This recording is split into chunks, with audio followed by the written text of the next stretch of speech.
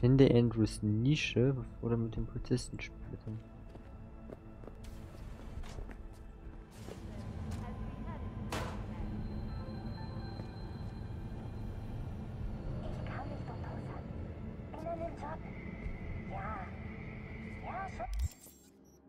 Warte.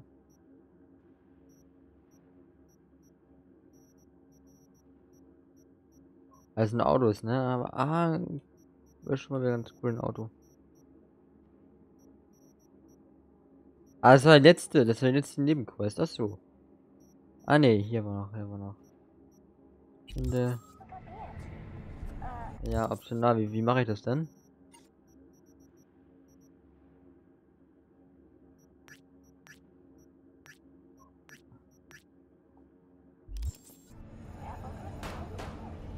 Ah. Ach so. Ah, okay. Ach so, man kann das. Ach, man kann das hier auswählen. Das ist interessant. Ja, ich weiß auch noch nicht alles, ne? Also, wenn ihr auch irgendwelche Tipps habt, ne, wie man das Spiel besser spielen kann, äh, ja, dann gerne in die Kommentare. Ich mache auch nicht alles richtig. Und weiß auch nicht alles. Und gerade bei solchen großen Spielen ist es oft schwer. Die fünf besten Arbeitgeber, da bin ich mal, da bin ich gespannt. Die fünf besten Arbeitgeber in Nike City. Auch dieses Jahr veröffentlichen wir wieder unsere Liste der fünf größten und besten Konzernarbeitgeber in Night City. Wer bietet bezahlten Urlaub an? Wer gönnt den einen An Angestellten eine Traumteamversicherung? Wer gibt Mitarbeitern Vergünstigungen für die Kinderbetreuung sowie die Einstellung von Familienleibwächtern? Schau jetzt, schau dich jetzt das Ranking an. Familienleibwächtern, Alter, die Stelle ist ja sowas von kaputt. Ich meine ganz ehrlich, guck mal, wenn du das schon wenn das schon ein heiliger, ähm, äh, ein heiliger Arbeitgeber ist, der dir ein bisschen bezahlten Urlaub anbietet, der ist doch schon hart. Aber das ist schon, wenn du, keine Ahnung, bezahlten Urlaub anbietest und dann schon der beste Arbeitgeber der Weltgeschichte bist, oh, das ist eine Scheißwelt.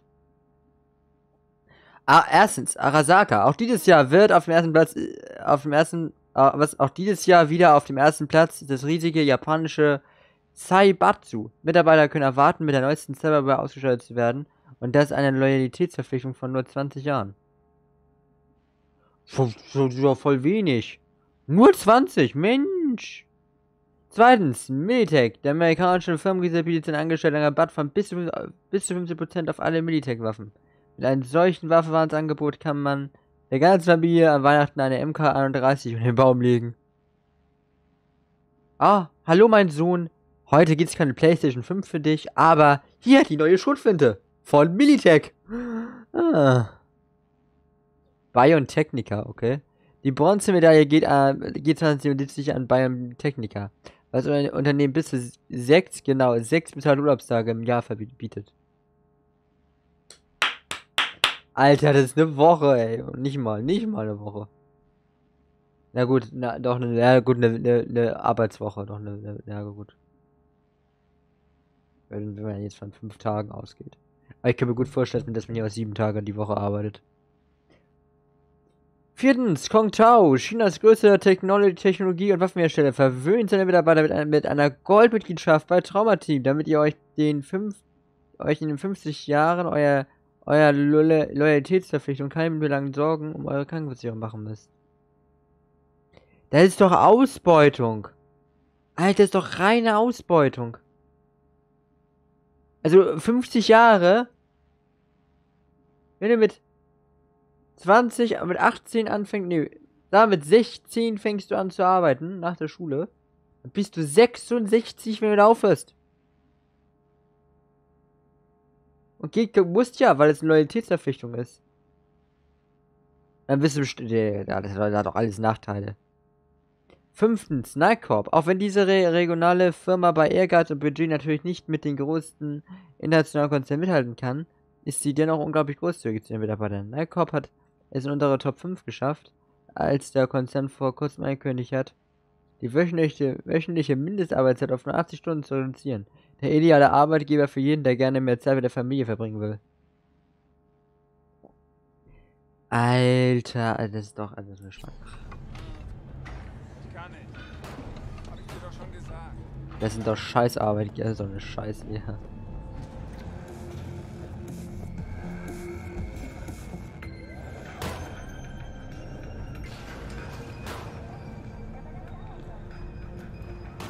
Weiß nicht, wollen wir uns gleich nochmal ein Auto kaufen? Wo ist der hinten? Oh Gott, da hinten muss ich hinfahren. Wollen wir uns gleich nochmal ein Auto kaufen? Wie viel Geld haben wir? 42.000.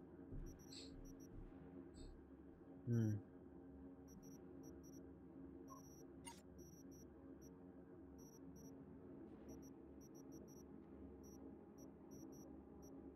Ah, eins können wir uns aussuchen. Oder? Ach komm, eins geht. Ja, wir wir was Neues fahren.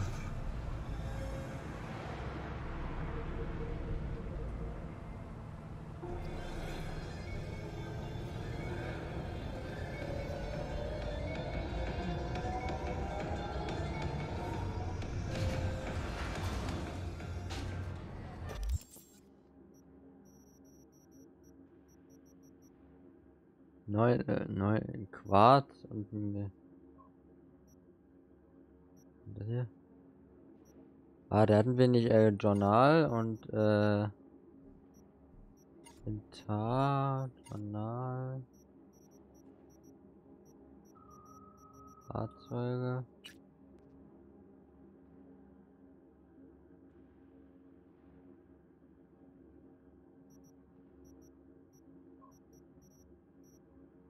Ähm.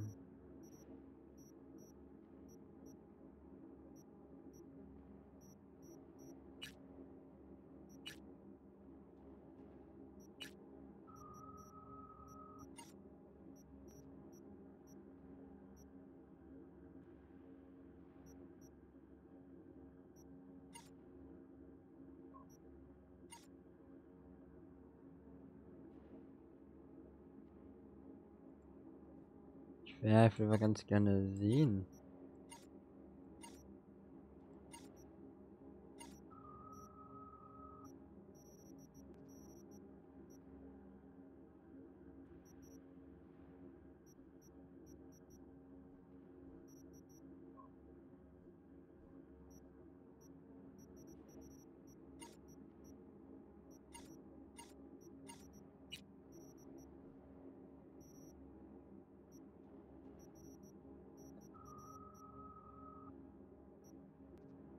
Doch gar nicht.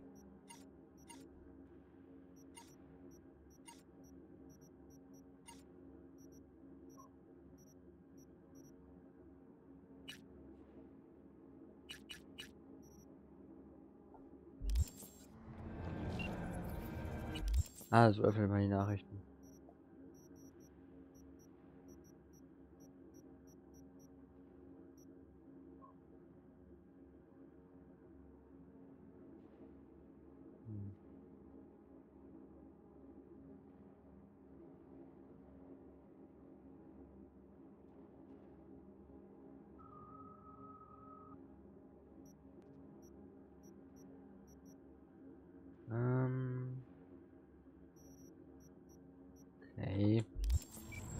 Dann, ja, dann würde ich einfach sagen, weil er, weil es in der Preisklasse ist. Wenn ich. Nimm mir den hier. Den für 29.000. Den hole ich mir kurz. Ich hab Bock.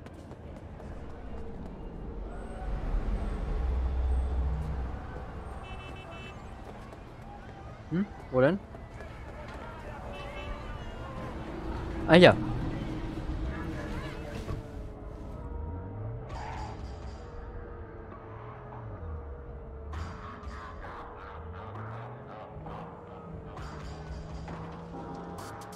So. Den Quarz E ECLR275. Aber bin mal gespannt, was das für eine Karre ist.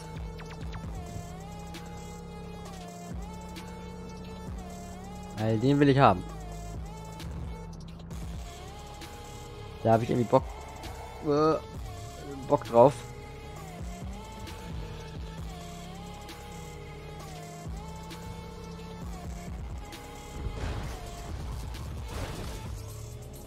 Autsch, du, der, der, der, der, ist, der ist gut geflogen.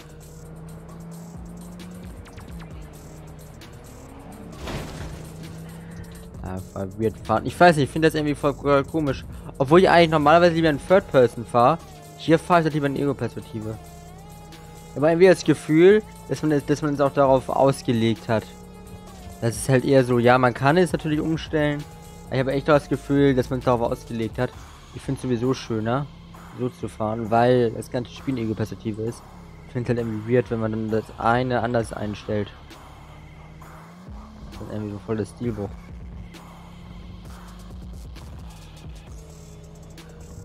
Jetzt kommt mir keiner entgegen, keiner entgegen, keiner entgegen, komm. Sehr gut. Oh, ja. Bin sauer gespannt auf, auf die Karre, ne? Dann kann er ein schöner Schlitten wird das. Mein 29.000, ich meine, du. Guck, ob es ein Auto ist oder ein Motorrad, mal gucken. Oder was ist denn das? Uh, oh, das ist ein nettes Ding. Das ist ein nettes Ding. Ah, sehr schön, ja. Uh, das ist aber. Also, also, ja. Ja, ist klar und süß. Ja, komm. Danke. Mission abgeschlossen. Mal kurz. Kurz aussteigen. Äh, V. Genau, dann einmal. Genau, bestätigen.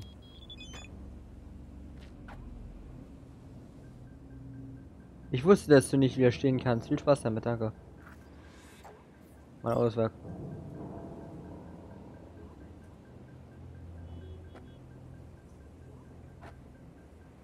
Alter, ich, oh, ich hab mich erschrocken. Haben wir alle Autos, ne? Wieso kann man im, wieso kann man im Ding die Aussehen nicht angucken? Ah ja, den, die beiden hatte ich ja, da habe ich fünf Autos. Nice. Gut. Man muss sich einen kleinen Vorpark anlegen, ne? Ich dachte mir, bevor wir so eine lange Fahrt machen, hol ich mal ein neues Auto. Ja, Journal. Ähm, Happy Together war das, genau. Hey, hey, ich bin's, Josh Kawokin. Hi. Hallo Josh. Starten heute in den Tag mit einem Marktüberblick. Kiroshi steigt um 2, Quadra fällt um einen, New American Auto Works klettert 1,5 Punkte nach oben. Und was ist die Überraschung des Tages? Orbital Air schießt nach oben um 10 Punkte. Ihr Toll. habt richtig gehört. Kaum zu glauben. 10 Punkte. Zehn Punkte. Aber warum? Und wie? Nach einem enttäuschenden Entschuldigung. ohne Ankündigung ich- warte mal. Der sieht aber auch geil aus, ne? Der sieht aber auch wirklich hübsch aus.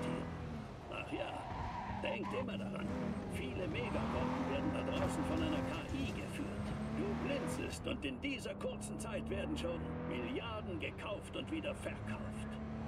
Das Problem ist, dass wir nicht immer wissen, worauf ihre Entscheidungen basieren. Und offen gestanden ist das den Kontobesitzern vollkommen egal, solange der Saldo weiterhin stetig nach oben steigt. Also, meine Lieben, wir gehen der Sache mal richtig auf den Aber ein schicker, schicke Karre auch von der Innenausstattung her. Das ist echt ein nettes Ding. Meine Freunde, ich sehe da nur Oh nein. Diese KIs erwarten einen hohen Anstieg der Nachfrage für Orbitalflüge in ganz naher Zukunft. Aber warum? Ein Weltkrieg? Vielleicht eine Umweltkatastrophe?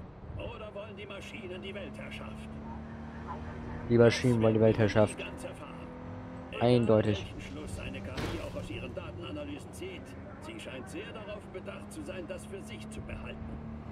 Doch egal, was kommen mag für uns, ist es an der Zeit, einzusteigen.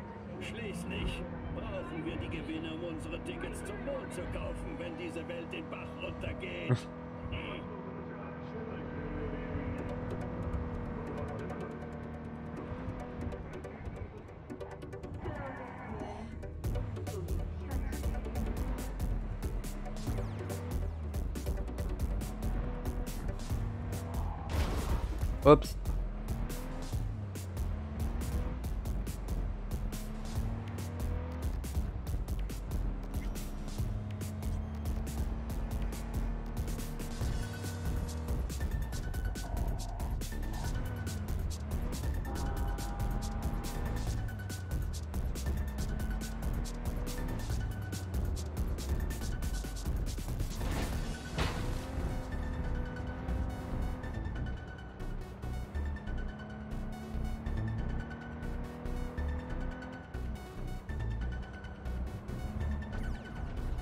Oh, uh, scheiße. Uh, ja, oh ja, richtig, ja. Hm. Bin Fahranfänger. Oh. Zum Glück ist das Auto so, ist Auto so schmal, dass ich, dass ich relativ gut um die Kurve komme. Ich bin auch eher so ein Fan von den kleineren Karren. Meine, diese eine Auto sind wir schon relativ viel gefahren. Ah. Immer noch aus wie neu.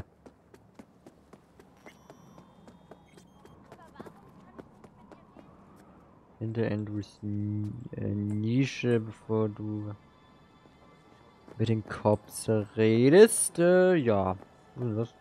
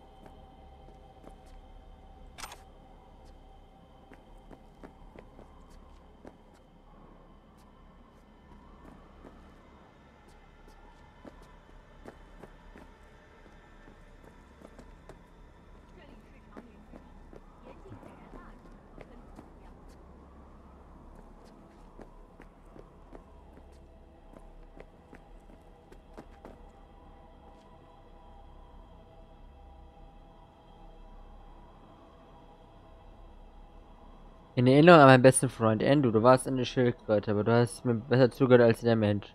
Du warst an meiner Seite, als Oma mir erklärt hat, was richtig und was falsch ist. Du bist meine letzte Erinnerung. Eine bessere Welt, Ruhe und Frieden. Barry hat ein echtes Problem. Wenn die Schildkröte sein Oh. einziger Grund zum Aufstehen war. Jetzt verstehst du es langsam. Seine Freunde müssen das hören. Hoffentlich ist es nicht zu spät. Kennst doch das Spielchen. Wenn du zu lange in den Abgrund starrst, starrt der Abgrund auch in dich hinein. Der Schritt nach vorn liegt da nahe. Besonders bei dem Scheiß, den er im Leben gesehen hat.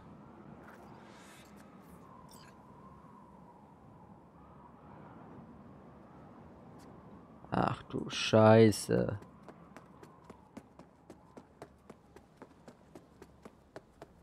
Ich dachte, das wäre eine Person, aber gut.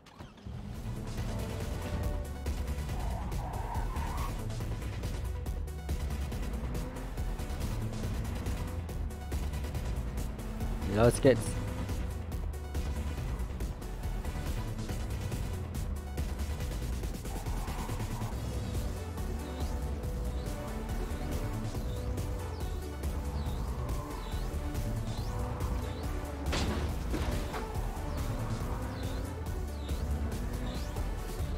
So, wieder. Uh. Uh. Ah.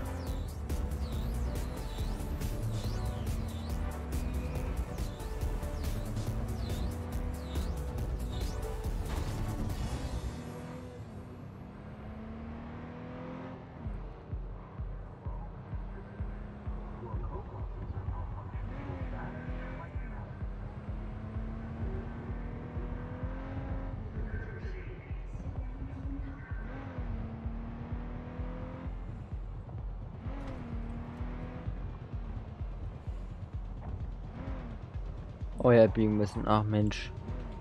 Ah. Jetzt du einmal auf die Straße guckst, dann ähm, übersiehst du echt auf die Kreuzung, weil das so klein da oben in der Ecke ist. Ich finde halt auch, ja, ist ein bisschen, ja. Ich würde es halt echt schön finden, wenn man mal, weil das Spiel ist so hübsch, aber man kümmert sich mehr um die Karte, also auf dieses kleine Ecke da zu gucken, als in das Spiel selbst. Das ist ein bisschen, bisschen schade. Ich würde ganz gern so, so, äh, ja, einfach so, wenn ich eine Linie, Linie hätte, die unten ist. Aber vielleicht kommt das sowas ja noch. Weil das Spiel wird noch gepatcht, könnt ihr mir sehr gut vorstellen, wenn man dort nochmal reinpatchen könnte.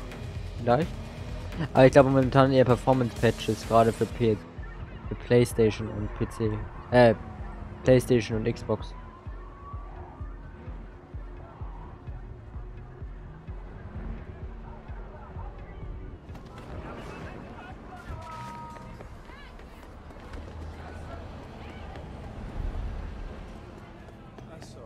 Ah.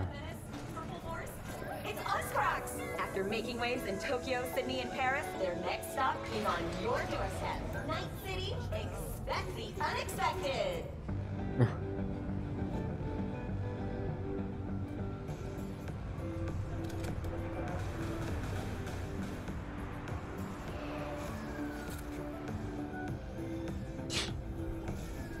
Wie die hier mit Waffen umgehen, ne? Ah, mal so ein Werbeclip.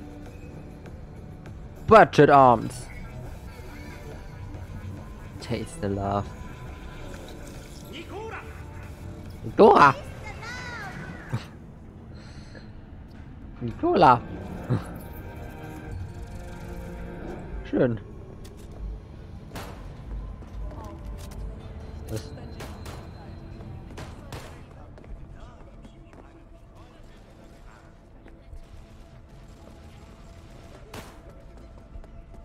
Ja, stimmt, ich darf ja nicht mitmachen. Oder muss ich da für ihn fragen? Ne. Ja, vielleicht später, vielleicht geht das noch. Vielleicht geht das noch nicht.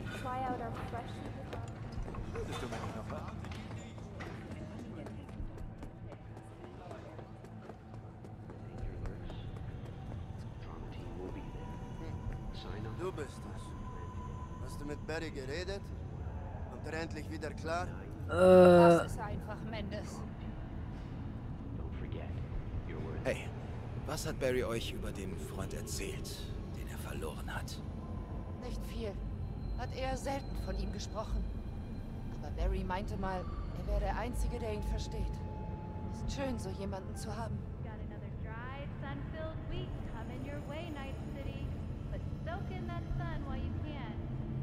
Wir haben geredet. Er wirkt ruhig, aber er ist wirklich am Boden. Ich glaube, er hat ein Problem mit Mendes. Was? Warum sagt er mir das nicht ins Gesicht?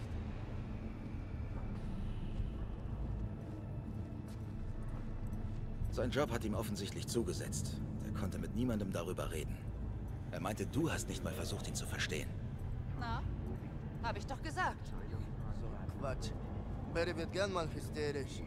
Muss man nur etwas schütteln, damit er zu Verstand kommt. Mal sehen. Wir sollten nachher noch mal zu ihm. Danke für die Hilfe. Das ist für deine Umstände. Oh. Oh. Ah, ist noch nicht ganz vorbei, danke. Spielen wir den Creepy Stalker, okay, sehr gut. Äh, machen wir, machen wir wieder äh, 8, genau.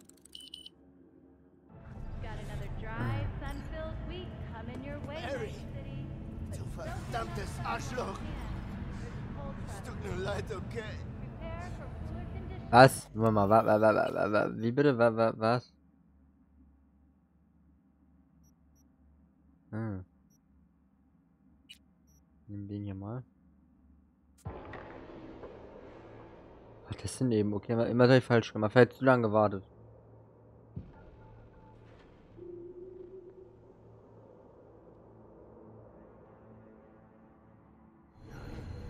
Du bist es. Jo. Hast du mit Barry geredet? Er endlich wieder klar? Lass es einfach, Mendes. Hey, was hat Barry euch über den Freund erzählt, den er verloren hat? Nicht viel. Hat eher selten von ihm gesprochen. Aber Barry meinte mal, er wäre der Einzige, der ihn versteht. Ist schön, so jemanden zu haben. Wir haben geredet. Er wirkt ruhig, aber er ist wirklich am. Boden.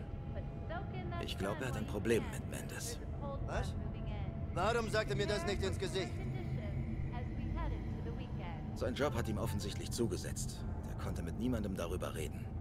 Er meinte, du hast nicht mal versucht, ihn zu verstehen. Na? Hab ich doch gesagt. So ein Quatsch. Barry wird gern mal hysterisch. Den muss man nur etwas schütteln, damit er zu Verstand kommt. Mal sehen. Wir sollten nachher noch mal zu ihm. Danke für die Hilfe. Das ist für deine Umstände. Kein Problem.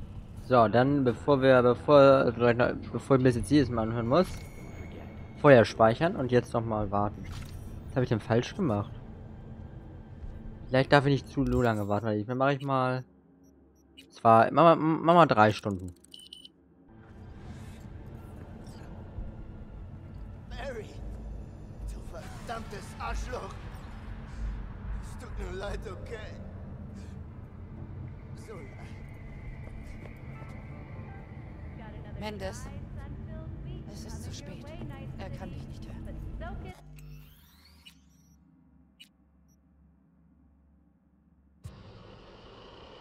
Oh nein, er bringt sich um, oder?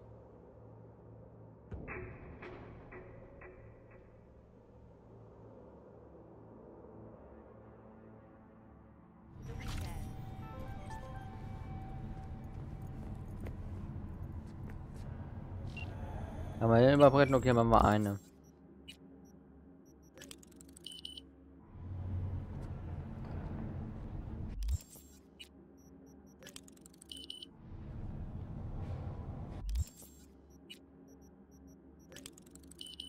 Mary! Du verdammtes Arschloch! Es tut mir leid. Was? Äh, wieso, wieso scheitere ich an der Mission?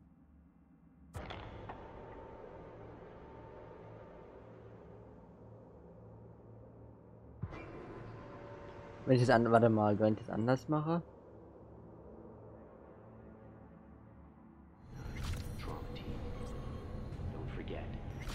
Ah, nee, das war doof. Ähm,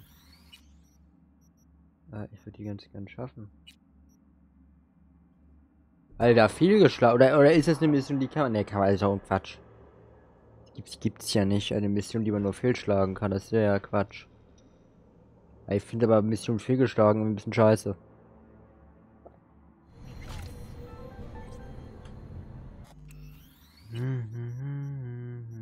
Hier, das war das.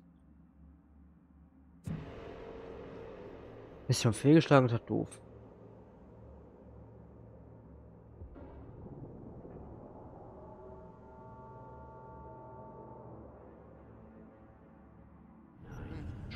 Du bist es. Hast du mit Barry geredet? Hm, Ja. Endlich wieder klar? Lass es einfach, Mendes. Barry ist in schlechter Verfassung. So schlecht, dass er lieber mit einer Schildkröte als mit euch beiden gesprochen hat. Ja, das das ist ein komisch? schlechter Laden. Kann ich Im nicht. Gegenteil, es ist Der verdammt traurig. Barry hat das Leben als Cop zugesetzt. Habt euch über ihn lustig gemacht. Also hat er euch nichts mehr gesagt. Und außer euch hatte er niemanden. Außer einer Schildkröte. Sein bester Freund. Geerbt von seiner Oma. Bis Andrew starb. Scheiße. Das glaube ich nicht. Verarscht mich.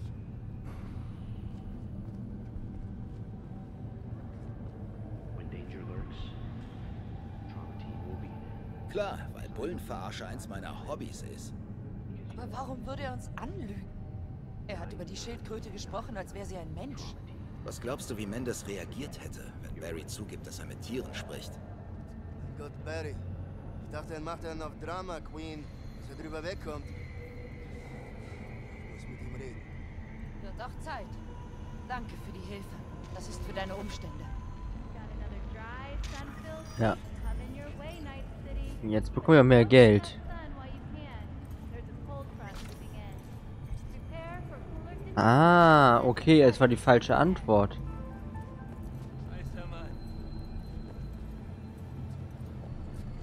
Jetzt bin ich gespannt.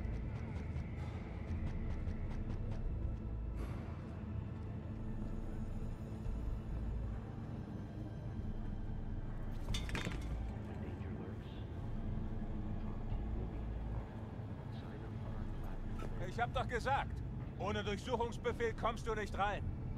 Verdammt, Barry. Wenn wir reden, Petrova hat mir erzählt, dass dein letzter Fall heftig war. Der Boss meinte, du sollst dicht halten, hm? Hatte auch mal sowas. Ein dreckiger Kindermörder. Wichser war im Petrocamp-Vorstand, also konnten wir nichts tun. Den Anblick vergesse ich nie. Dieses kleine Kinderhemd. Grün. Lustigen gelben Katze. Rein. Oh, sehr gut. Oh, sehr gut. Okay, ich hab's geschafft. Nice. Okay, gut. Ich wollte ich wollte ihn halt unbedingt am Leben lassen, ne? weil es auch doof ist, bisschen viel wollte schon sagen. ey, Wie geht das nicht? Dann war das die falsche Antwort. Ich wollte, achso, okay. Aber okay, ist interessant. Ähm, also auf jeden Fall coole, ne, also eine coole Mission ist in dem Sinne. dass sie halt gut geschrieben war. Aber auch wenn das jetzt nur eine kleine Mission war, man, man, man, die, die, was dir so eine Geschichte erzählt, also, na, da willst du halt einfach so einen, so einen, so einen Kindermörder oder so stoppen. Und du kannst es nicht, weil der dann irgendwie, keine Ahnung, hohes Tier ist, oder schießt mich tot. Oder weil irgendwie jemand Geld zahlt oder was weiß ich warum. So, also, schon, schon nicht ohne, diese, diese Welt. Schon nicht ohne. Kennst meinen Preis. Ich verhandel nicht. Aber vielleicht gut. Ist mir scheißegal. Ich verhandle auch nicht.